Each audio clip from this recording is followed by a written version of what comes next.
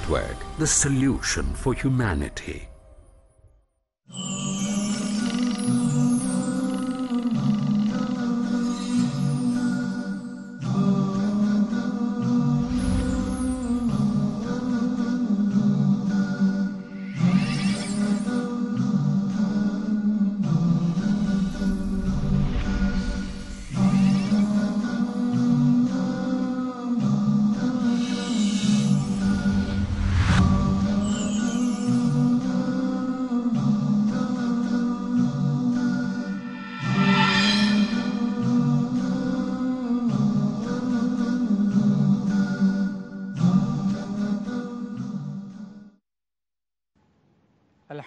আলহামদুলিল্লাহ রবিল আলমিন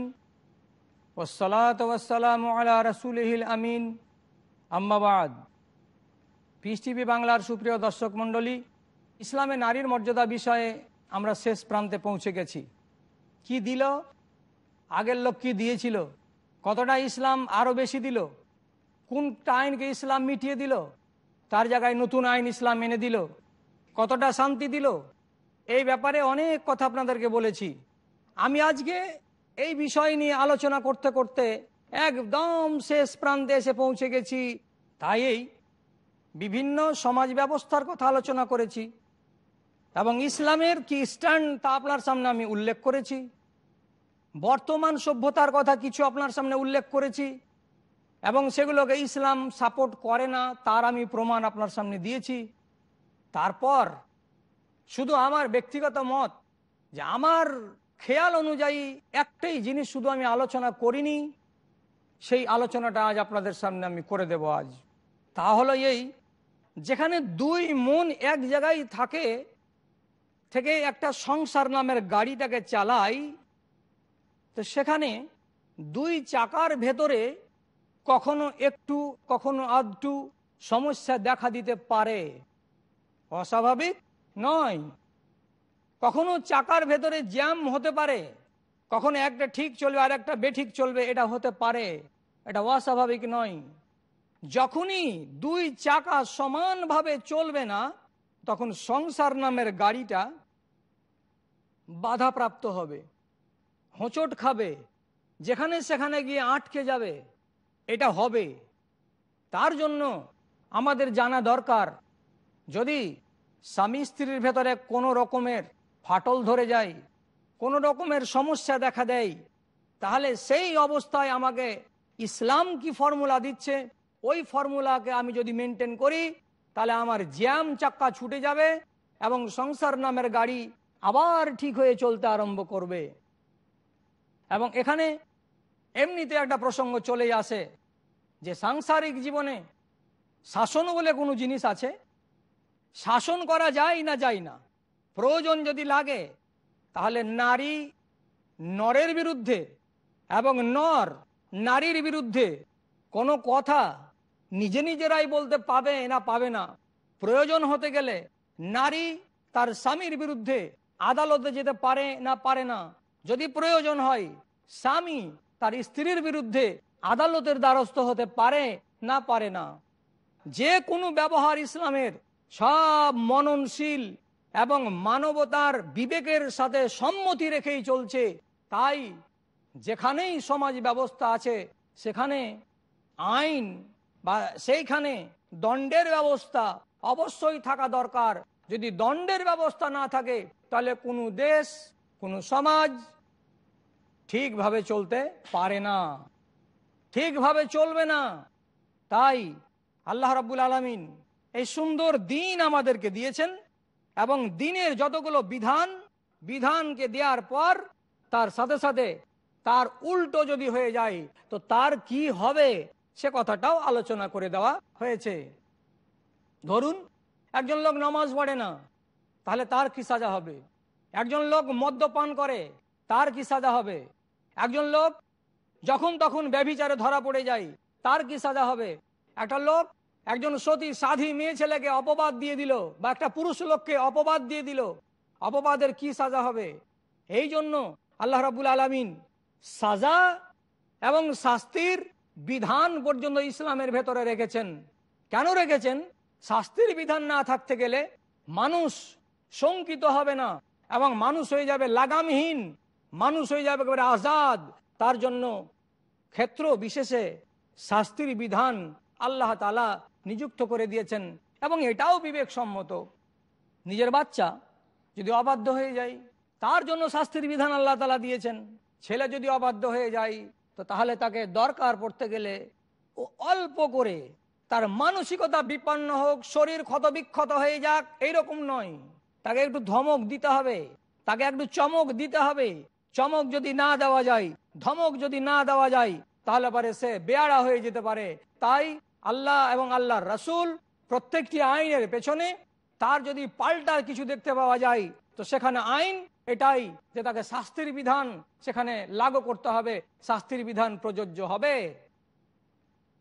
শাস্তির কথা বলতে গিয়ে এখন প্রয়োজন হচ্ছে আমাদের স্বামী স্ত্রী চলতে গিয়ে মনের অমিল হয়ে গেল, তাহলে কি হবে?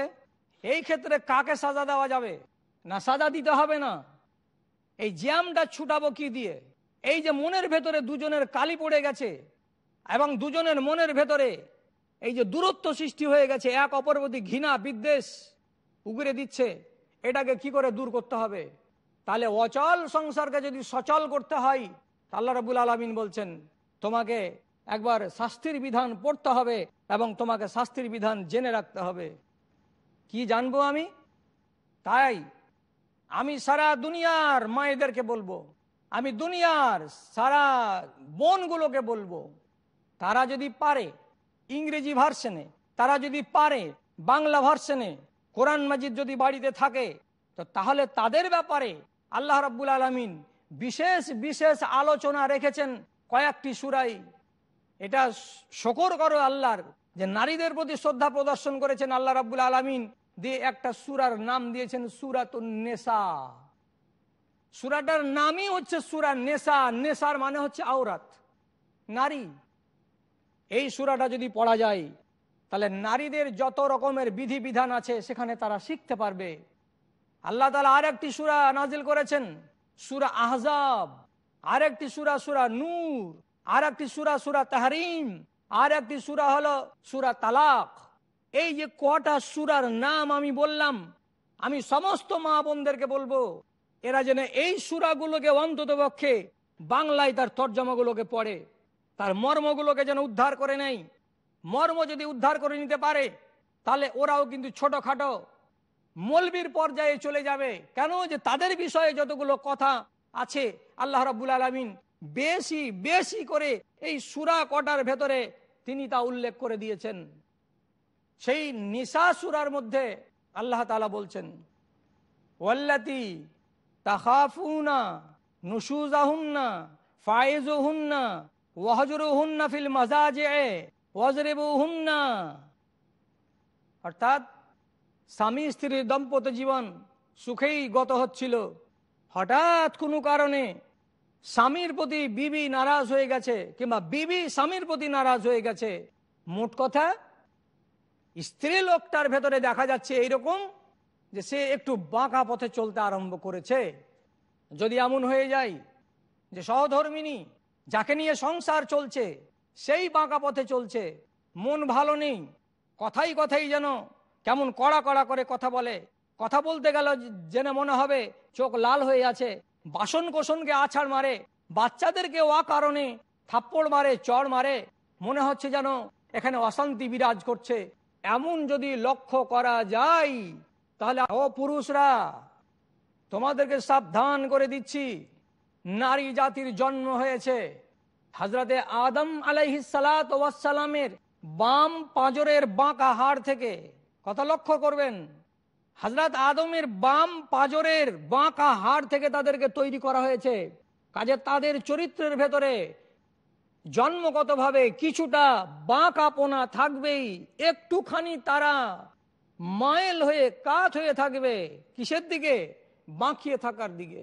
অতএব তুমি যদি তার চলতে বলতে কোনো ভুল পেয়ে যাও, তাহলে জোর করে, জবরদস্তি করে ওই বাঁকাকে সোজা করার চেষ্টা করবে না।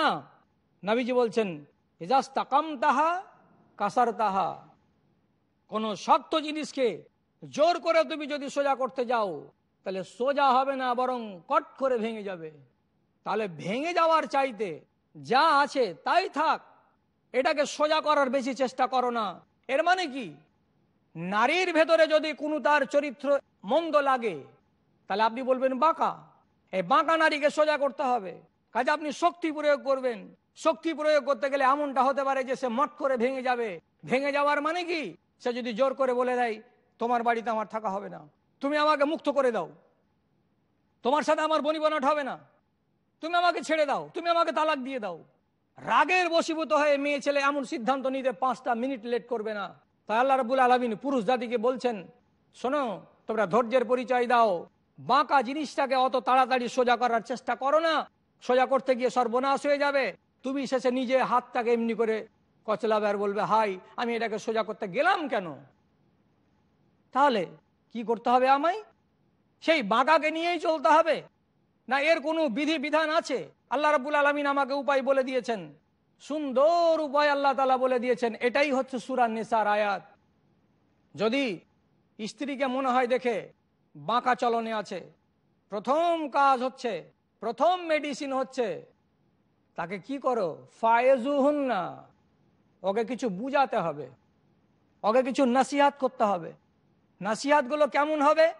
যদি আপনার জানা থাকে, নারী এবং নর কীভাবে জীবন কাটাবে, তাহলে এই বিষয়ে সুন্দর সুন্দর বই বাজারে পাওয়া যায়।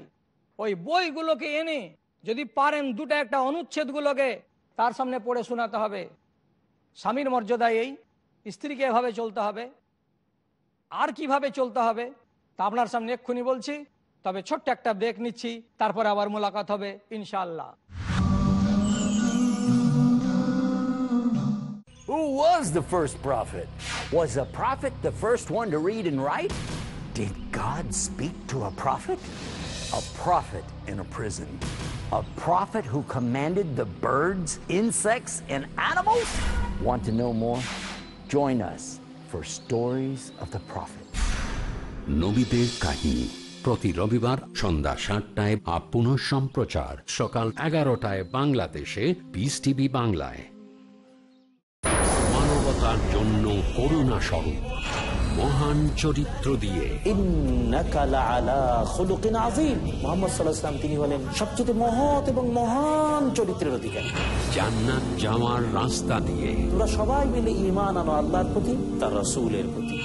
শাহ বালিউল্লাহ রসুল সাল্লাহ আলী ওসাল্লাম তাম সৃষ্টির জন্য রব্বুল আলমিনের প্রেরিত রসুল। দূর। কেন মহান আল্লাহ মোহাম্মদ সাল্লাহ আলাইহি ওয়াসাল্লামকে সমস্ত বিশ্বের জন্য রহমত বানিয়ে পাঠালেন। শান্তির দূত, পরবর্তী অনুষ্ঠান পিস টিভি বাংলায়।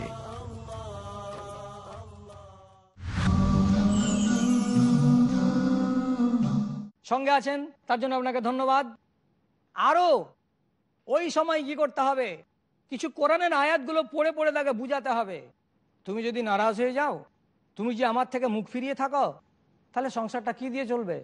তুমি যদি আমার কাছ থেকে চলে যাও, আর তুমি আমাকে একাই ফেলে দাও, তোমার বাচ্চাগুলোর কি হবে? আমার বাচ্চাগুলোর কি হবে? এই ঘর, এই বাড়ি, এই আয়েস আরামের সমস্ত সামানগুলো আমার কাছে কি দাম থাকবে? তুমি এমনটা করো না। অমুকের মা, তুমি এটাকে বুঝতে চেষ্টা করো। আমি তোমার স্বামী তোমাকে বুঝাচ্ছি। এইভাবে আপনি যদি নরম নরম কথা বলে, তাকে নিরিবিলিতে যখন শয়ন কক্ষে আপনার পার্শ্বে আপনি তাকে পাবেন, তখন তাকে বুঝিয়ে বুঝিয়ে কথাগুলোকে তার মগজে ভরার চেষ্টা করুন। নরম কথা বলতে গেলে সবাই শুনে, সবাই মানে। অতএব একটা মেয়ে ছেলে যখন দেখবে, এ আমার স্বামী, এ আমার মাথার মুকুট, এ আমার বড়, আর আমি ওর অধীনস্থ, আর সে যদি আমার কাছে এত মিষ্টি মিষ্টি কথা বলে, এত নরম নরম কথা বলে, আর এত পড়ে গিয়ে যদি কথা বলে তাহলে আমি একটা মেয়ে ছেলে, এত কড়া হয়ে থাকার যুক্তিতে কি আছে? হতে পারে শুভ বুদ্ধির উদ্রেক হবে তার ভেতরে, এবং ইনশাআল্লাহ হবে।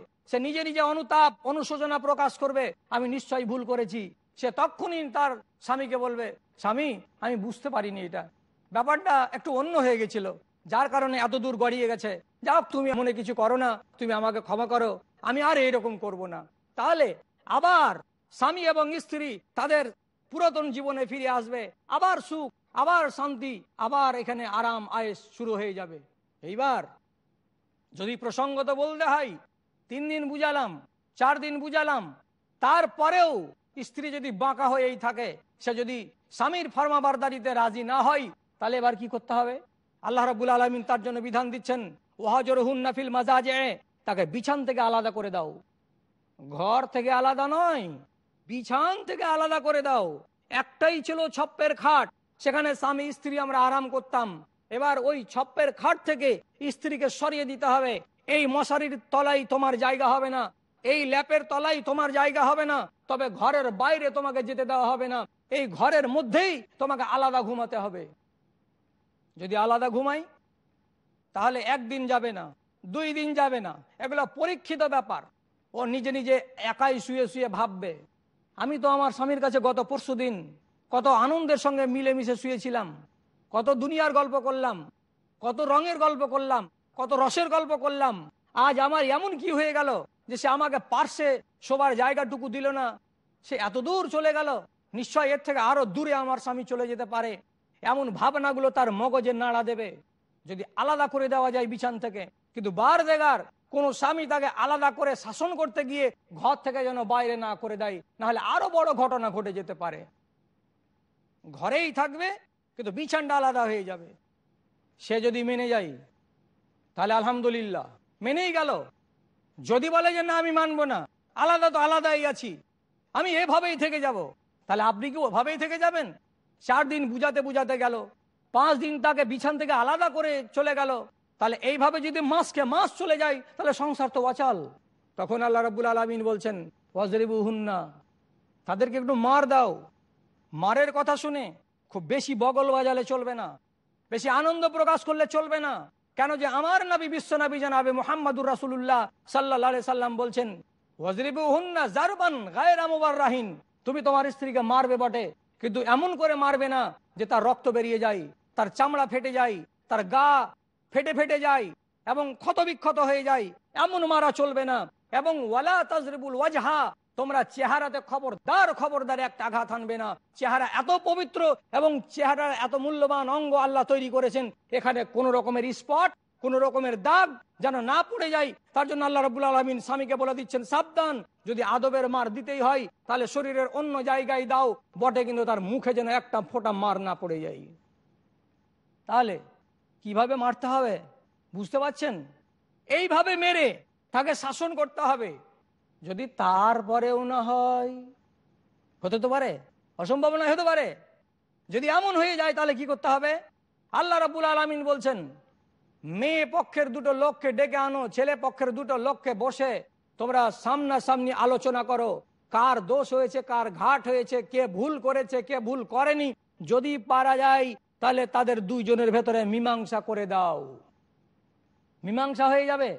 আমার বিশ্বাস, আল্লাহ রবুল আলমিন এতগুলো ফর্মুলা কেন দিলেন? হতে পারে প্রথম ওষুধটাতেই কাজ হয়ে যাবে। হতে পারে তারপরের ওষুধেই কাজ হয়ে যাবে। হতে পারে তিন নম্বর ওষুধে গিয়ে কাজ হবে। হতে পারে এই তিন নম্বর ওষুধ যদি ফেলিওর হয়ে যায়, তো তাহলে শেষের বেলায় অপারেশন এটাই যে দুই পক্ষের মোড়লরা বসে সেটা ভাবনা চিন্তা করে ফায়সলা করে দেবে। তাতেও যদি ফাইসলা না হয় অপারেশন যদি সাকসেসফুল না হয়, তাহলে অনিবার্য রুগী মরে যাবে, রুগীর আর বাঁচার পথ নেই। তাই সেইখানে তখন সৃষ্টি হবে কে? এখানে আসবে তালাক। তালাক হতে গেলে জেনে নিতে হবে বিচ্ছেদ। বিচ্ছেদের মানে হলো কি, চার চারটা ওষুধ কোনো কাজ দিল না, অতএব রুগী চলে গেল ওপার, তেমনি স্ত্রী চলে গেল ওপার, ও আলাদা হয়ে গেল। এবার আপনি অন্য স্ত্রীকে নিয়ে ঘর সংসার সাজান। আল্লাহ বলছেন এটা শাস্তির বিধান। হজরত আইব আলাই সালাতাম তিনি তার বিবির উপরে একবার ক্ষিপ্ত হয়েছিলেন। তার বিবি সম্বন্ধে আমাদের দেশে প্রচলিত নাম আছে রহিমা রহিমা বলে। এমন কোন হাদিস কোরআনে তার নাম লিখা নেই। তবে তফসিরের ভিতরে লেখা আছে তার নাম লিসা। ওই লিসা নামের মেয়ে ছেলে যখন হজরত আইব আলাই সালাতামের কাছে থেকে সব কিছু সহ্য করে, তার অসুখ, তার অভাব, তার ট্রিটমেন্ট তার শরীরকে ধুয়ে দেওয়া, তার খাবার ব্যবস্থা করে দেওয়া, এত রকম করে সেবা করে করে করে করে শেষের বেলায় সামান্য একটা কথার কারণে হাজরত আইব আলাইসাল্লাম নিজের বিবির উপরে রেগে গেছিলেন। কেন রেগেছিলেন?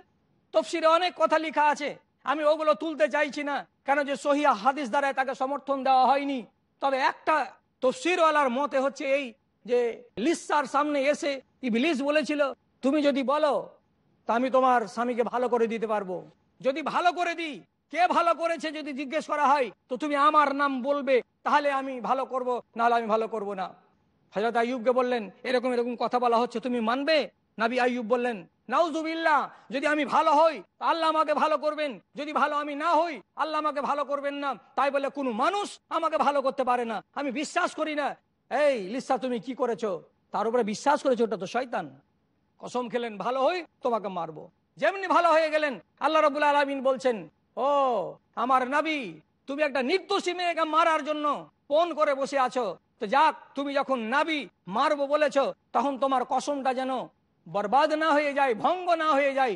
তোমাকে মারতে বলছি, কেমন করে মারবে তুমি? আল্লাহ রবুল আলমিন কোরআনে কারিমের ভেতর বলছেন, খুজ জিগসান, তুমি এক মুঠ কিছু লকড়ি বা ঘাস শুকনো নাও, যার ভেতরে একশোটা ডাঁটা থাকবে একশো খানা একসঙ্গে করো, আর করার পরে তোমার বিবি, তার গায়ে তুমি এক আঘাত করো। খড়ের আঘাত আবার একশো খানা খড় একসঙ্গে থাকবে। থেকে এইভাবে তুমি মারবে। তুমি কসম খেয়েছিলে বলে, তাহলে তোমার কসমটাও পুরা হয়ে যাবে আর তোমার বাড়িওয়ালিকে তোমার মারাও হয়ে যাবে। কাজে ও বাঁচবে, এও বাঁচবে, তোমাদের দুজনেরই সম্মান থেকে যাবে। আল্লাহ তালা এই আদেশটা দিয়েছিলেন। এবার এগুলো হচ্ছে মশলার ব্যাপার। এভাবে যদি বর্তমান যুগের কাউকে একসঙ্গে কোড়া করে তাকে যদি মারা যায়, তাহলে মারা যায় যে না, যায় যে নয়। বন্ধুরা, আমার অনেক আলেমে দিন বলেছেন, এটা আল্লাহ রবুল আলমিন হাজরতে আইয়ুব আলাই সালাতামকে খাস করে আদেশ দিয়েছিলেন। এটা তার জন্য হচ্ছে এক্সেপশনাল ঘটনা, আমার আপনার জন্য নয়। আর এভাবে যদি আমরা কোনো ড্যাভিয়ারিকে শাস্তি দিই কোনো অপবাদ দানকারীকে শাস্তি দিই, তাহলে এতে শরীয়ত বহাল হবে না, আর এভাবে শাস্তি ঠিক হবে না। এটা হয়ে যাবে ঘুষখড়ি, এটা হয়ে যাবে ডুপ্লিকেসি, এটা হয়ে যাবে জালবাজি। কাজে মারতে হবে যদি একশো কোড়া, মারতে যদি হয় আশি কোড়া, তাহলে একটা একটা একটা করেই মারতে হবে। যাতে করে ওই কোড়াখানা তার গায়ে টাচ হয় এবং সে যেন ব্যথা পায়, এভাবেই তাকে মারতে হবে। এটা হচ্ছে শরীয়ত সম্মত কথা। যাই হোক, আমি আপনাকে বুঝাতে চাইছিলাম যে যদি সাজা বা শাস্তি দেওয়ার দরকার লাগে, তাহলে ইসলাম শাস্তির ব্যবস্থা করে দিয়েছে। এখানে আমার অনেক মা বোন আছেন, যারা এই বিষয়টাকে জানতে গিয়ে বলবেন, স্ত্রীকে মারার কথা খুব বললে মৌলানা সাহেব, কিন্তু স্ত্রীর কোনো অধিকার আছে স্বামীর বিরুদ্ধে?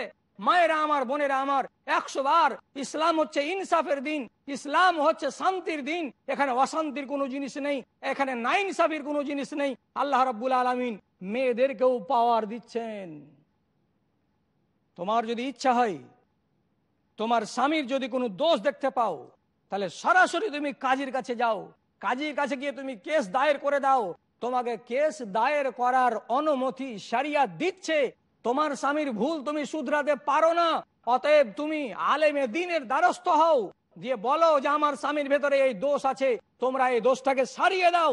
এ আদালতে যাওয়ার পাওয়ার আল্লাহ রব্বুল আলমিন স্ত্রী কেউ দান করেছেন, এমনটা নয় যে সব পাওয়ার পুরুষের হাতেই দেওয়া আছে, স্ত্রীকে একটুও পাওয়ার দেওয়া হয়নি, এটা নয়, এটা যদি হতো, তাহলে ইসলামের ভেতরে মুসাওয়াত, ইসলামের ভেতরে বরাবরই সমান্তরাল, এটা ইসলাম আর হতো না, এটা এক পক্ষ হয়ে যেত, আর আল্লাহ রাবুল আলমিন এইটাকে একতরফা আইন করবেন না বলে নরকে যেমন দিচ্ছেন পাওয়ার, তেমনি নারীকেও দিচ্ছেন পাওয়ার, তুমি ইচ্ছা করলে তোমার পাওয়ারকে তুমি ব্যবহার করতে পারো, কিন্তু নারী যখন তার কোনো অবজেকশন কোনো অভিযোগ, আর অভিযোগকে কেন্দ্র করে যদি স্বামীর উপরে সে নালিশ করতে যায়, তো তাহলে অ্যাকশনটা সে নিজে নিজে নিতে পারবে না। তাকে অ্যাকশন নেওয়ার জন্য কাজীর দ্বারস্থ হতে হবে। গ্রামের মোড়লের বা কোনো সালিসের তাকে পক্ষে গিয়ে সেখান থেকেই তার ইসলাহ করার এবং সংস্কার করার পথ তাকে বের করতে হবে। একাই একাই কোনো স্ত্রী তার স্বামীকে সাজাও দিতে পারবে না। হাত তুলতেও পারবে না, মারতেও পারবে না, গাল দিতেও পারবে না, এটা তার অধিকারের মধ্যে পড়ে না।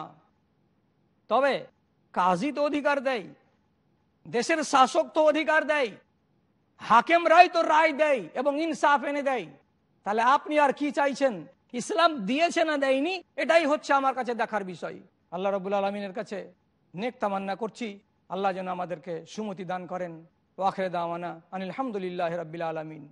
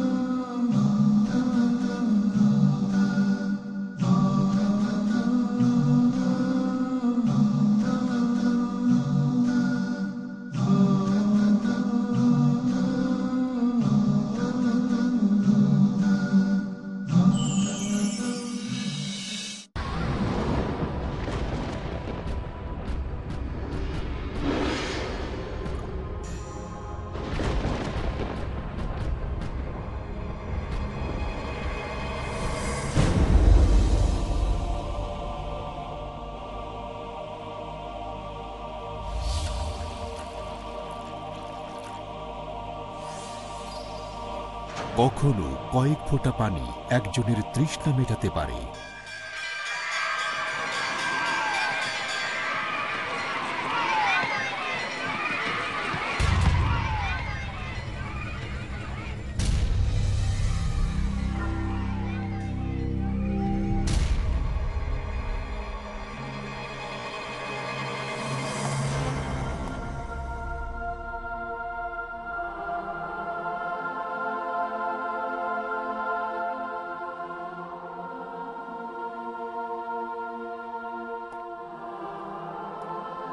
কখনো একটি সাহায্যের হাত মানুষের মুখে হাসি ফোটাতে পারে।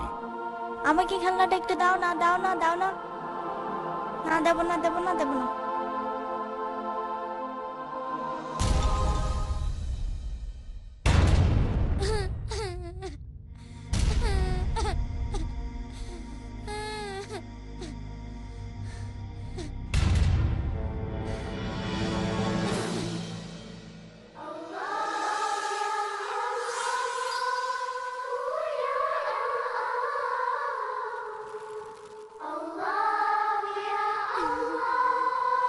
কখনো সামান্য একটি উপহার হতে পারে মহামূল্যবান।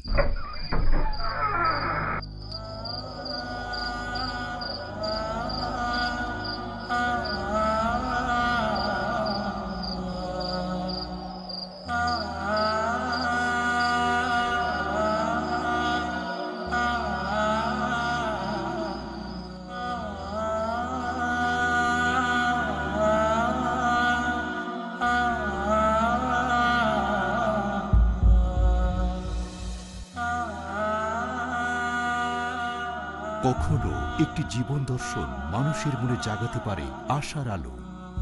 তবে আমাদের জীবনের সবচেয়ে গুরুত্বপূর্ণ হলো পেছনে ফেলে আসা আমাদের পদচিহ্ন। মুক্ত হস্তে দান করুন, সেই পদচিহ্নই রেখে যান, যেভাবে স্রষ্টা আমাদের জীবনটাকে পরিচালিত করতে বলেছেন। পিস মানবতার সমাধান। আপনাদের ডোনেশন আর জাকাত পাঠিয়ে দিন। পিস টিভিকে সমর্থন করুন। ডোনেশন এবং জাকাত পাঠানোর ঠিকানা IRFI Al Rayan bank Quadrant court আটচল্লিশ Calthorpe road Birmingham UK post code B one five one T H short code three zero double zero eight three swift BIC code I BO BGB double two IBAN GB five two L YD three zero nine six three four zero one zero two four one nine two pound account number zero double one three two three zero one euro account number zero double one three two three zero two US dollar account number zero double one three two three zero three টাকা পাঠিয়ে আমাদের email করুন admin at the rate peace TV dot TV peace TV মানবতার সমাধান।